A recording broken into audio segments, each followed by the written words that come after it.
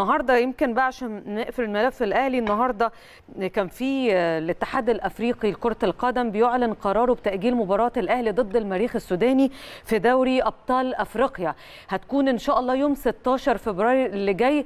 وفرصة إن إحنا النهارده معانا كابتن شطة علشان نتكلم على مجموعة الأهلي. إحنا عندنا سامبا التنزاني وفيتا كلاب في مجموعة دوري أبطال أفريقيا ففرصة نتكلم عليها بالتفصيل مع كابتن شطة. طبعا المباراة اللي كان مقرر ليها دي مع المريخ يوم 12 أو 13 من الشهر اللي جاي.